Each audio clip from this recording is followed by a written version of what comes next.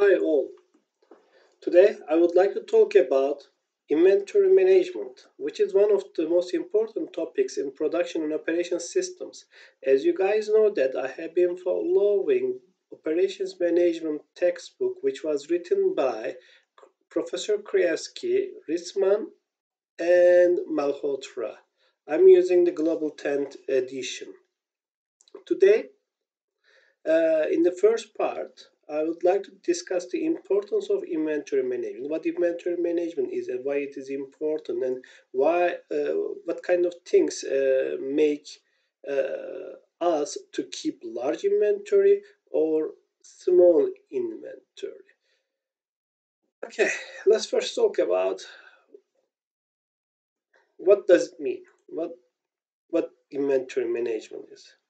Inventory management is typically planning and controlling of the inventories. Inventories such as raw materials, components, or finished goods or work in process items. And as, as you guys know that we have been uh, focusing on that, every business would like to manage their operations and processes efficiently to become competitive in the industry. So the planning and controlling of inventories should also lead us to be competent in the industry according to our competitive priorities such as quality, flexibility, cost, um, cost and speed, time. These are the four main traditional competitive priorities for companies. An inventory is typically a stock, stock of materials we keep in our facility and then we use them to satisfy our customer demand. Customer could be a workshop in our manufacturing plant or an individual customer in a retail store. That's why, that's why we use this stock of materials to support the production of services or goods as well. We can easily resemble an inventory system in a supply chain network of a fluid model, a fluid system. In this system, we have a pipeline. We get input through the pipeline, and then we keep them as in an input storage area. After we process them, we transform them into the desired outputs. And during the processes, we also produce, might produce scraps, defected goods, or residues.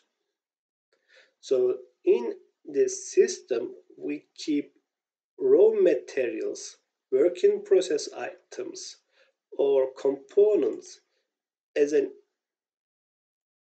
input. After we process them, we might also keep finished goods or work in process as an output.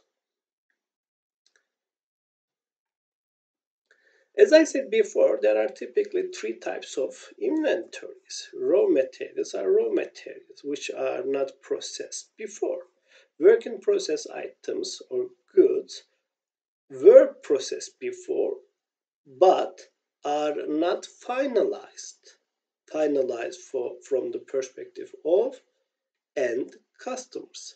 And finished goods are ready to deliver to customers. Customer could be customers could be individual end customers or another player in a supply chain network.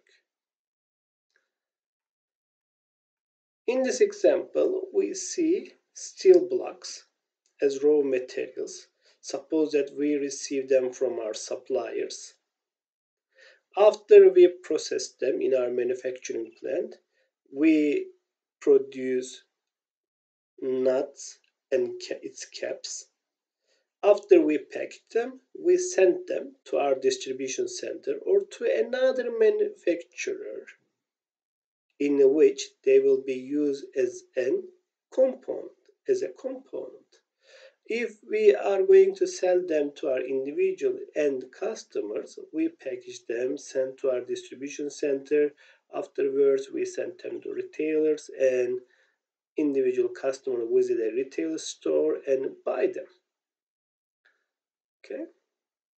Raw materials, they could be work in process or finished goods according to the types of supply chain network. Why we keep inventory? The first and one of the most important reason is to get economies of scale. Economies of scale, as you guys know, that provide a cost advantages to companies. Economies of scale on the side of purchasing, on the side of logistics. If our supplier provides a discount, if we buy more, then we may want to keep more inventory than what we need.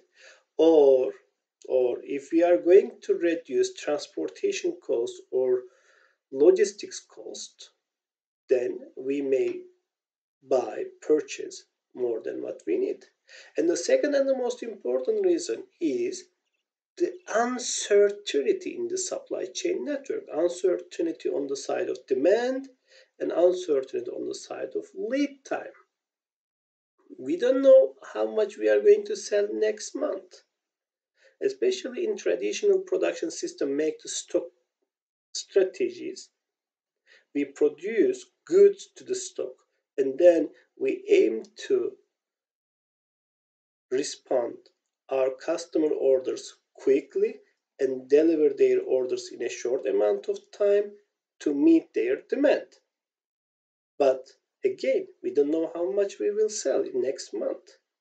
For that purpose, considering the uncertainty in demand, we would like to keep inventory. To feed the, to, to, to feed the to feed the production in a facility,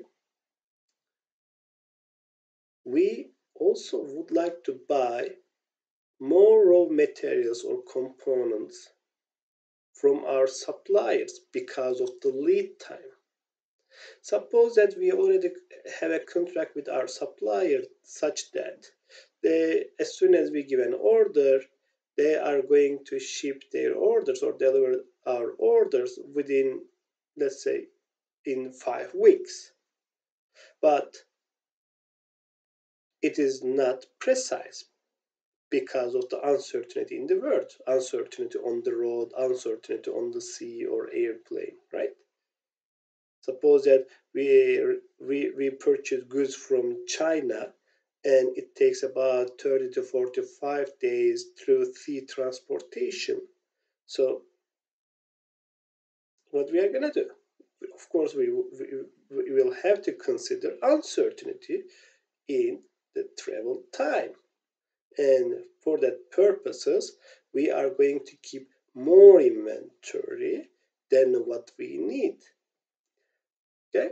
We will consider this uncertainty later on in the calculation of safety stock. Speculation is another reason. If you expect that the price will increase in future, the price of a good, the price of a metal, the price price of a gold, or the price of any good will increase, will will dramatically increase in the future, then we may want to buy these goods. Actually, we may want to our future needs in advance and keep them as an inventory. And the last reason, last but not the least, of course, the reason is smoothing the product, smoothing the demand as you guys know that sometimes we might have high demand sometimes we might have low demand. However we as a manager as a production manager operation manager we would like to have regular capacity a regular and fixed capacity in our manufacturing plant. Therefore we produce goods for high demand seasons beforehand and keep them in an inventory to meet the future demand. Okay, so this is called smoothing. So if we are going to differentiate the reason of keeping inventory from the perspective of pressures for large inventories or small inventories, we can say this. Again, if we want to achieve high customer service, we prefer to have make the stocks make the stock strategy uh, then we keep large inventory because as soon as we receive an order we would like to meet our customers order from the inventory from the stock ordering cost. Ordering cost is also sometimes known as setup cost. Okay it's about this. As soon as we call our supplier and say that hey i would like to buy that much item could you please send it? And if he if any document any form needs to be filled any document needs to be prepared uh, any inspection need to be done as soon as we receive the goods okay? They all are accounted as ordering cost setup cost and if the setup cost and ordering cost is much is high then we would like to give less effective number of orders. Therefore in each order we give higher quantities so we keep large inventories and again to feed to support the production and keep the labor and equipment utilization we also would like to keep large inventories on the side of input stock area input input inventory and also work in process between workstations. As we said before, in order to get benefit of economies of scale in transportation, then we may also want to have large inventories. And the last one is for the payments or discounts. How about for small inventories?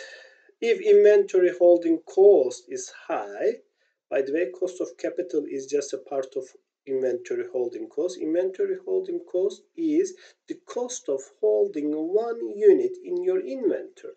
One unit in your inventory, in your storage area.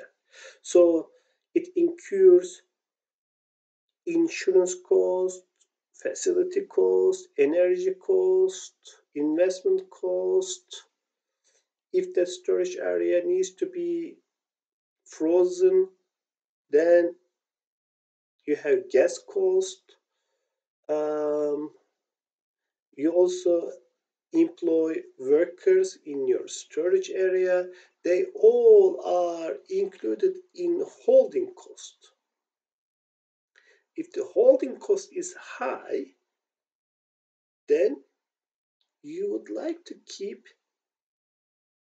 small inventories. Cost of capital could be accounted as the opportunity cost of money. If the cost of capital is high, the opportunity cost of money, because inventory means money, right? Cash.